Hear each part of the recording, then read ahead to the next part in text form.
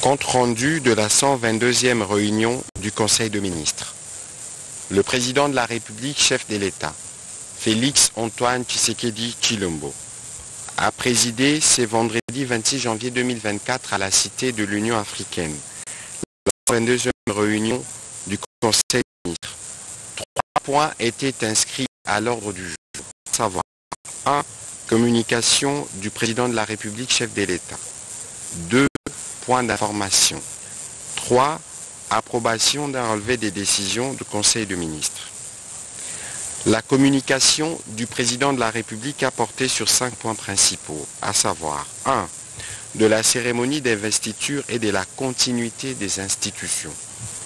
Évoquant la cérémonie de son investiture en qualité de président de la République démocratique du Congo, intervenu le 20 janvier 2024, le président de la République, chef de l'État, a indiqué que cette cérémonie, qui a clos solennellement l'exercice de son premier mandat confié par le peuple le 24 janvier 2019, vient d'ouvrir la voie à un nouvel horizon dont l'objectif demeure la réalisation d'un Congo plus uni, plus en sécurité et plus prospère. Au milieu d'hôtes de marque venus nombreux, parmi lesquels plus d'une dizaine de chefs d'État et de gouvernement, de représentants de haut niveau et des manières plus générales de la communauté internationale dans sa plus grande diversité, le peuple congolais a une nouvelle fois eu l'occasion non seulement de témoigner de sa maturité et de son hospitalité, mais aussi et surtout de réitérer son adhésion à son projet de société, offre politique lui présentée lors de la campagne électorale. Il a tenu à rappeler l'importance que revêt ces jours pour chacun des membres du gouvernement. En cette période transitoire qui précède la constitution du nouveau gouvernement, on sait que, outre le maintien de la concorde et de la cohésion dans l'action gouvernementale, il y a nécessité d'accompagner l'installation des jalons relatifs à la réalisation des six engagements et initiatives prioritaires promis aux Congolais. Le président de la République a réitéré ses remerciements à toutes les parties prenantes ainsi que toutes les Congolaises et Congolais sans lesquels cette belle cérémonie d'investiture n'aurait pas été possible. Le deuxième point de la communication du président de la République concerne la redynamisation des structures de régulation du marché de l'emploi. Le président de la République est déterminé à offrir des solutions pragmatiques aux problèmes socio-économiques rencontrés par nos concitoyens, parmi lesquels le chômage. Il a fait de la création d'emplois le premier engagement de son nouveau mandat, car l'emploi constitue l'un des déterminants majeurs de toute croissance inclusive et du développement économique. En effet, avoir un emploi qui procure un revenu, que ce travail soit qualifié ou non, intellectuel ou manuel, constitue une source d'épanouissement personnel et permet aux travailleurs, tant du secteur privé que public, d'apporter quotidiennement sa contribution dans la création de la richesse nationale.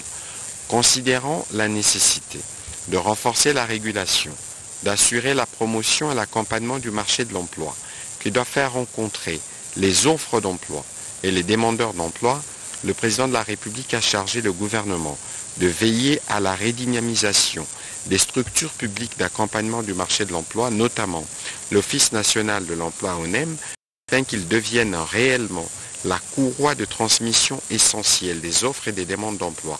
Pour ce faire, le Premier ministre chef du gouvernement devrait veiller à ce que tous les ministres concernés collaborent étroitement afin que les actions suivantes soient réalisées au cours du premier trimestre de cette année. 1. Mener une campagne de communication pour une meilleure connaissance de l'ONEM par la population active. Accroître les antennes ou représentations de l'ONEM en favorisant la collaboration avec les maisons communales progressivement sur toute l'étendue du territoire national. Favoriser une meilleure collaboration entre les organisations patronales et toutes les structures du marché de l'emploi afin de partager les renseignements portant sur le marché du travail, l'évaluation des besoins actuels et futurs de profils d'emploi recherchés par les entreprises pour encourager les demandeurs d'emploi d'opter pour de filières offrant des débouchés. Mettre en place des mesures incitatives encourageant les entreprises à réserver un quota aux nouveaux diplômés sans expérience professionnelle pour favoriser ainsi l'accès de jeunes diplômés en quête d'une première expérience professionnelle. 3. De l'inadmissibilité des actes d'intolérance et des traitements inhumains sur le territoire national. C'est référant à sa communication lors de la 120e réunion du Conseil de ministres du 29 décembre 2023. Le président de la République a réitéré l'inadmissibilité des traitements inhumains dégradants de même que les actes d'intolérance, particulièrement vis-à-vis des femmes, à la suite d'informations documentées, lui parvenues et qui faisaient état de la commission des dix actes notamment au cours de la campagne électorale. Malheureusement, il y a lieu de constater comme les démontrent certaines images et vidéos insoutenables qui circulent, la poursuite de ces actes inhumains qui n'ont d'égal que la barbarie de leurs perpétrateurs qui, en sus de s'aimer la panique, font le lit de l'instabilité et de l'apparition des conflits communautaires aux plus grandes dames de nos populations. Le président de la République a rappelé la tolérance zéro pour ces comportements et ces actes d'une gravité innommable. Ceux-ci n'ont aucune place sur notre territoire et leurs auteurs doivent être poursuivis et déférés devant les cours et tribunaux, a-t-il insisté. Il reste convaincu que ce n'est que par la répression juste et proportionnelle, sans concession ni remords, que nous parviendrons à rétablir l'ordre et permettre à nos concitoyens, de même que tous ceux qui ont choisi nos villes et villages comme lieu de résidence, de recouvrer leur quiétude. Conformément à son engagement d'offrir plus de sécurité et d'exiger plus de sécurité publique, nous voulons lancer un appel au Premier ministre sécurité et affaires coutumières et à la ministre d'État, ministre de la Justice et garde des Sceaux avec la des autorités pour que toute manière fasse ses fléaux quatrième point de la communication du président de la République a porté sur la journée de la douane. C'est vendredi janvier 2024, en marge de la journée internationale de la douane. La cellule d'innovation et des changements de mentalité a à la remise des ouvrages hyper de la douane, édition spéciale du président de la République, avec comme particularité l'intégration du cahier spécial du président de la République pour la prévention et la lutte contre la des antivaleurs dans le lancement de la sensibilisation a eu lieu le 20 janvier 2023. En mettant à la disposition du douanier congolais ses outils en ses débuts de son deuxième mandat, le président de la République envoie un message clair, non seulement au douanier congolais, mais aussi à tout acteur concerné par cette activité, combien il est déterminé à éradiquer les antivaleurs dans ces secteurs de l'économie nationale pour ainsi accélérer la mobilisation des recettes dans ces secteurs vitaux pour la nation, ce qui entraînera évidemment la maximisation de performances douanières en République démocratique du Congo. Avec les lancements de la distribution par la CICM sous la supervision du ministre des Finances, s'ouvre aussi la distribution à tous les agents de la DGDA partout où ils travaillent. Cet effort logistique de distribution est assuré en collaboration avec le partenaire Africa Union Financial Service AUFS pour s'assurer que chaque dernier reçoive son kit. À l'heure du numérique et d'innovation managériale, il tient à poursuivre les efforts d'innovation, notamment dans la finalisation de la version électronique interactive qui est annoncée pour le début du deuxième semestre de cette année en collaboration avec les différents partenaires de la DGDA dans ce projet. Le président de la République a demandé au Premier ministre chef du gouvernement, aux ministres des Finances et aux autres ministres concernés, à la fois par l'innovation, la maximisation de recettes et la bonne gouvernance, de travailler avec la cellule d'innovation et de changement de mentalité pour le suivi de ce projet et sa mise en œuvre dans différentes régies financières et les différentes entreprises publiques de la République pour ainsi donner à l'État les moyens de sa politique. Dernier point de la communication du président de la République au sujet de la redynamisation du cadre de collaboration entre nos représentations diplomatiques et nos institutions nationales. Le président de la République a tenu à rappeler que d'importantes réalisations étaient accomplies au sein de l'appareil diplomatique avec pour but soit d'innover, de corriger ou encore de redynamiser des pans entiers de notre administration afin d'assurer notre bien-être collectif. Cette volonté s'est notamment traduite dans l'administration des affaires étrangères, dont les atermoiements avaient pour effet d'atténuer, parfois de contraindre, la noble et effective représentation de notre nation dans les capitales étrangères, de même que la capacité de nos diplomates à continuellement assurer la sauvegarde de nos intérêts partout où ils étaient discutés. Les recommandations de la 12e conférence diplomatique tenue en février 2022 sont en cours d'implémentation, tout comme l'engagement exprimé au cours du Conseil de ministres du 10 novembre 2023 et repris dans son programme quinquennal, c'est lui appelant à la réforme de l'Académie diplomatique congolaise.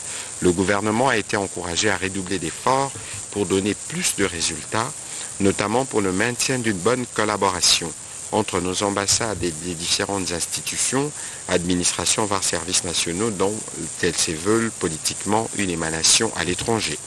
Il a invité le vice-premier ministre, ministre des Affaires étrangères et francophonie, sous la supervision du Premier ministre chef du gouvernement, à tabler d'ores et déjà sur la redynamisation des différentes commissions intergouvernementales et interservices existant à cet effet. Dans la suite de la communication du président de la République, le Premier ministre chef du gouvernement a commencé par adresser, au nom du gouvernement, ses vives félicitations au président de la République chef de l'État pour sa prestation de serment historique qui a eu lieu à Kinshasa le 20 janvier 2024 devant une vingtaine de chefs d'État et de délégations ainsi que de nombreux invités de marque représentant leurs pays respectifs. Par la présence significative de ces différentes délégations de haut niveau, la mémorable cérémonie du stade de martyr confirme non seulement les dynamismes de notre diplomatie impulsés grâce au leadership du président de la République, mais également la reconnaissance internationale du choix incontesté du peuple congolais sur son auguste personne. Le Premier ministre a également salué la force et la pertinence du discours d'investiture du président de la République qui donne des objectifs clairs pour les nouveaux quinquennats, à savoir 1. La création d'emplois par la promotion de l'entrepreneuriat. 2 la protection du pouvoir d'achat des ménages par la stabilisation du niveau d'inflation et la maîtrise du taux d'échange. 3. La sécurisation de notre territoire et la préservation de nos intérêts par la restructuration profonde de notre appareil de sécurité et de défense. 4. La diversification de notre économie par la transformation locale de nos produits agricoles et miniers bruts. 5. L'accès aux services de base par la consolidation de la couverture santé universelle de la gratuité de l'enseignement et des acquis du PEDEL 145 territoires. 6. Enfin, le renforcement de l'efficacité de nos services publics. Ces objectifs prioritaires constituent la référence fondamentale pour le programme d'action du prochain gouvernement. Sur un autre chapitre, le Premier ministre a salué le bon déroulement du processus électoral, processus qui confirme l'ancrage de la culture démocratique dans la vie nationale, avec notamment pour la toute première fois l'organisation des élections au niveau communal. Il a rassuré que le gouvernement continue, de suivre les différentes opérations à venir. Pour cela, il a réitéré sa détermination à poursuivre son soutien financier et sécuritaire à la CENI, le soutien financier et sécuritaire du gouvernement à la CENI pour la conclusion de tous les cycles électoraux tel que prévu par le calendrier de la centrale électorale. De la même manière et en toute responsabilité, le gouvernement demeure attentif aux préoccupations des divers ordres exprimés par nos populations pour la bonne tenue de ces scrutins. Au deuxième chapitre du Conseil de ministres de ce jour relatif aux points d'information, le vice-premier ministre, ministre de l'Intérieur, Sécurité et Affaires coutumières, a présenté au, au Conseil le rapport sur l'état et l'administration du territoire national. Au cours de la semaine qui s'achève, l'état d'esprit de la population est demeuré généralement calme sur l'ensemble du territoire national et a été marqué notamment par l'organisation impeccable de la cérémonie d'investiture du président de la République chef de l'État, par la présence significative et éloquente des chefs d'État africains à la prestation du serment du président de la République chef de l'État réélu pour un second mandat. Au chapitre du banditisme et de la criminalité dans la ville de Kinshasa, le vice-premier ministre a fait part au Conseil de l'ouverture ce vendredi 26 janvier 2024 des audiences publiques foraines en procédure de flagrance dans l'enceinte de son ministère, cela fait suite des récentes opérations de nos forces de l'ordre qui ont réussi à mettre la main sur plusieurs centaines de délinquants qui terrorisent au quotidien nos paisibles compatriotes. La justice, tant militaire que civile, est à pied d'œuvre. Il est question de mettre fin à ces fléaux du banditisme urbain et de la criminalité qui connaissent une, courbe ascendante. En complément au rapport du vice-premier ministre, ministre de l'Intérieur, le vice-premier ministre, ministre de la Défense a fait état de la situation opérationnelle du pays sur les différents fronts. Dans les territoires de Rutshuru particulièrement, il a été signalé les recrutements forcés des jeunes par les terroristes M23 RDF, ainsi que la perpétuation des différents euh, assassinats et massacres qui continuent de faire en rencontrant évidemment la résistance de patriotes Ouazalendo. Le vice-premier ministre, ministre de la Défense nationale, a rassuré que les forces armées de la République démocratique du Congo restent déterminées à rétablir la paix et la sécurité ainsi que restaurer l'autorité de l'État. Dans la partie ouest, il a été constaté un regain d'activisme des insurgés Yakadi Mobundo. Les causes de la persistance de ce phénomène ont été passées en revue et des dispositions idoines ont été prises quant à ceux. Toujours sur ces chapitres de points d'information, deux notes relevant du secteur de transport. Le ministre des Transports, voie des communications et des désenclavements, a présenté aux membres du Conseil deux notes d'information. La première concerne concernait l'état d'avancement des travaux préparatoires de la modernisation de l'aéroport international de Njili à Kinshasa par la société Milvest, agissant sous la coordination du Premier ministre. Conformément aux orientations du président de la République données lors de la 97e réunion du Conseil de ministres, le gouvernement a mobilisé une grande expertise pour l'élaboration des instruments juridiques, financiers et techniques, particulièrement pour la conclusion d'un protocole d'accord et la convention de collaboration avec la société turque Milvest.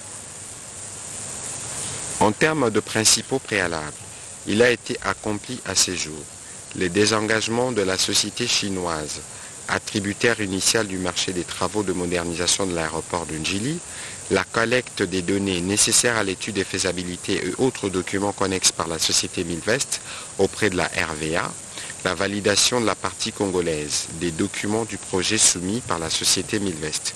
Sur ces points précis, l'assistance du cabinet conseil d'avocats HFW basé à Paris dans la revue et la négociation d'un accord portant sur une concession ayant pour objet la modernisation, l'agrandissement, la gestion, l'exploitation et la maintenance de l'aéroport de Kinshasa-Njili a contribué à l'amendement du projet d'accord de collaboration de manière à être le plus équitable possible à partir des observations formulées par les gouvernements et la régie de voies aériennes.